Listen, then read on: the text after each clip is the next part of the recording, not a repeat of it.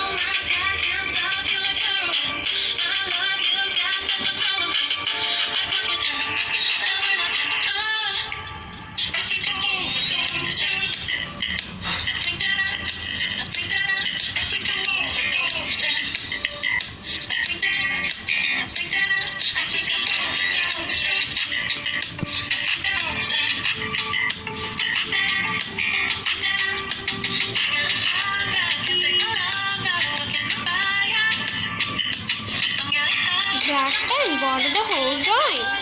Rub the pencil part with push-up eraser, black marker. Oil pastel color pink on the skin. Red marker Color the dress.